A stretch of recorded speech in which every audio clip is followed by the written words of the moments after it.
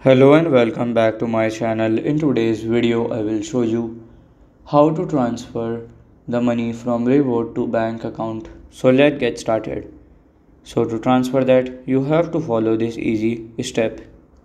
So here you have to go like open the app, go into payments here, then here have to click on send button and then choose the recipient. So here have to click on new and then here you have to put the recipient detail.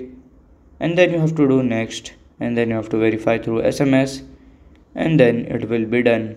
So by this way you can do it. And it's easy way too.